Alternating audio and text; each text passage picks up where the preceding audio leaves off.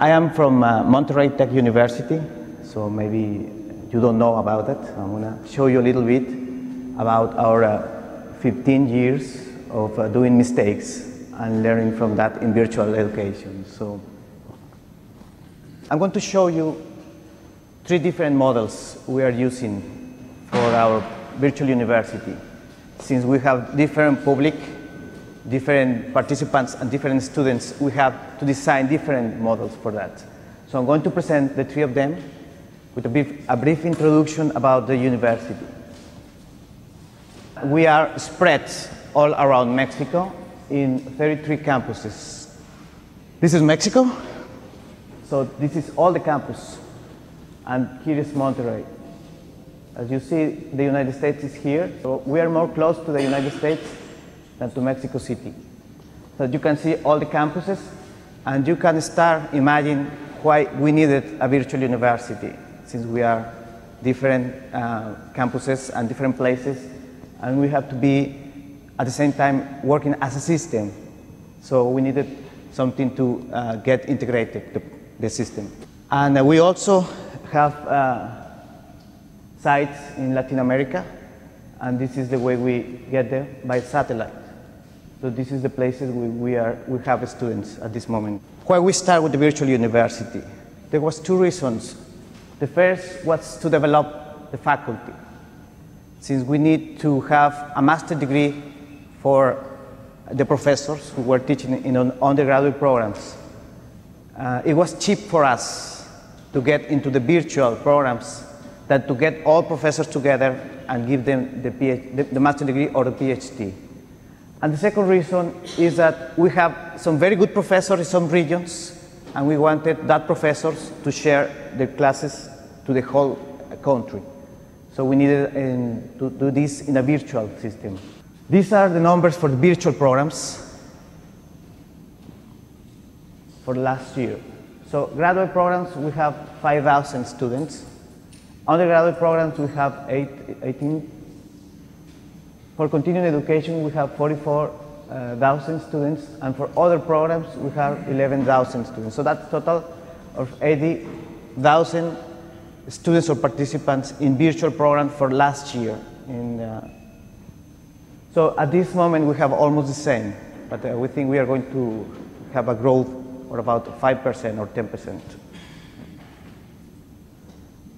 We combine uh, technologies, satellite or internet for our programs. So as you can see, we have program for public officials. Since they don't have connection to internet, we get them by satellite. For undergraduate uh, students, we combine both internet and satellite. Our master's degrees in management are both internet and satellites. Our engineering programs are mostly by internet and in some we use satellites. And the masters in education are almost all in internet. And uh, plus that, we have programs full on internet, which are these. Then we have a, a digital library which supports all the programs. And this is all the technologies around our courses. And this is very important to say that when we're talking about one course, it's not just about the platform delivery, but all the systems that support that course. Then we have systems to support the management of education.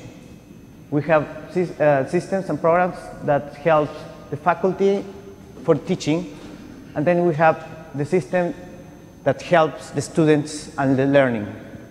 What I'm talking about is that we have a system, the Learning Content Management System, which is a depository of all the content of the courses.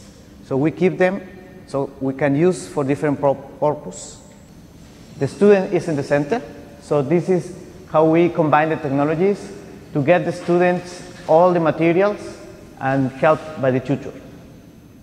And of course, to give them all the supportive uh, register, academic management, information, and other things he might need. So what this was the introduction. So I'm going to focus now on the first model, the model for formal education, which means graduate programs and undergraduate programs. These are what I mean. The participants are between 26 and 33 years old. This is the profile. We have uh, 5,000 uh, Uh, students in these programs. And these are our programs, all this full internet management, internet technology, e-commerce, quality and productivity, master in Latin American manager, master in humanistic, master in education, and we have a one PhD. We have two moments in the design of a course. When we design the course and when we deliver the course. When we design the course, there is a professor who is the expert in a content area. This professor worked together with a, a team. The team is integrated by a content expert, instructional designer, graphic designer, web programmer, and a course director that works as a project manager.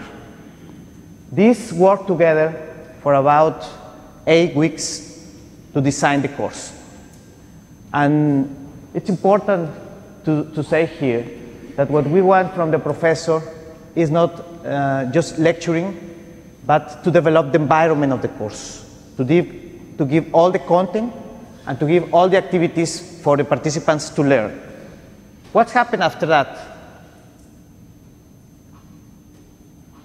We have tutors. And tutors are different from the professor who designed the course.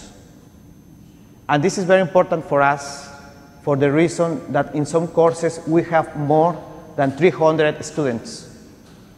So one professor, it's impossible for him to handle this number. So we need to divide the course in several courses, and that's why we need tutors. But also, the, the professor who designed the course is invited to participate during the delivery as a professor who is supervising the process. And here are the students. So you can see in these areas, the, the students have more time to contact the tutor and they have a few time to contact the professor. What we have here is a relationship between professors and tutors. The tutor go with the professor to ask for advice. Then we have the relationship between the students and how the tutor follow this. And from that, you can see three different areas of learning in the course. First, you can see this. There is an area where the students don't get in touch with the tutor. This area is for self-directed learning in a course. There is the second area, this one, which is all the activities that need feedback from tutor. And then you have this third area, which is the area where the students get in touch with the expert. Of course, if you ask a student, the students would say that he wants more time with the professor who designed the, the course.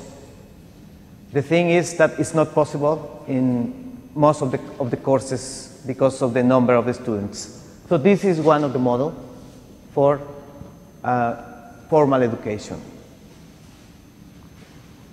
The second model is for continuing education. Now, we have a different profile of participants. This program are directed towards companies that has employees located mainly in different geographical areas and have a strong need for accessible and uniform training. These are the areas, management, productivity, sales, accounting and finance, computing, language, sustainable development, health, and education. And these are the numbers of students we have in the last year. What is important here is that for continuing education, we don't have professors. Because most of the courses are designed by different professors, not just one, but different experts. And some of the courses are designed by experts from companies. And most of these uh, experts don't have experience teaching. So that's why they are not teaching, but we get from them all the knowledge in the content. What is important to say here is that when we are talking about continuing education, we are not talking about one course, but we are talking about four elements before going with the course. The first is the strategy that the company is going to set to run the course. Then is the technology. Sometimes we have a course who has a lot of things on it, and when the course go to the company, it cannot run because it's too heavy. So we can to redesign the course to have uh, to be more light. Then we have, of course, the course, and then we have all the activities to follow up an improvement of the course. So at the beginning, as I told you, we have made a lot of mistakes.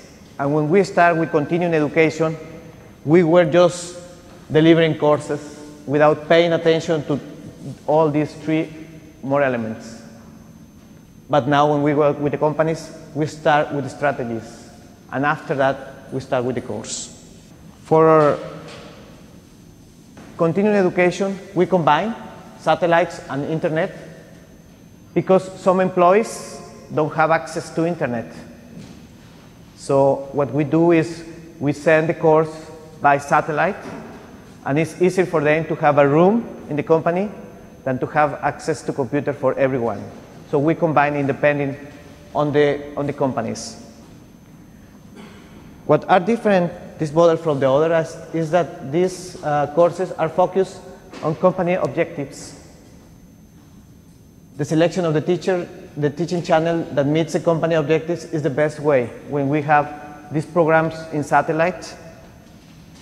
We focus on Latin American participants, and this is very important to say here.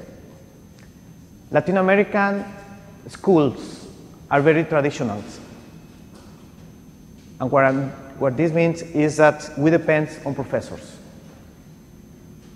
And from that, we are not responsible for self-study. So we need to develop this before going online.